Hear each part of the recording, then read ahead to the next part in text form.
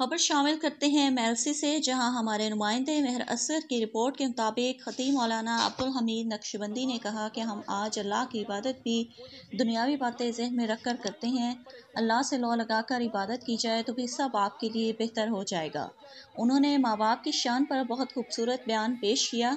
Zahid Khan advocate की दादी के इसाल स्वाब की इस महफिल के मौके पर Miyan Afsar Aftab advocate, Akbar Khan advocate, Haji Iqbal Matru Asghar Maqbool advocate Chaudhary Atiqur Rahman senior Safi Tahir Abbas Sahu Sadiq Ali Mirza Mehar Asghar Abrar Ansari Asghar Qadri Wajid Ali Shah Miyan Mumtaz Matru मियाँ काशिफ मतरू मियाँ ज़िया सैयद मुनीर शाह महर रऊफ़ के अलावा इलाके की कसी तादाद मौजूद।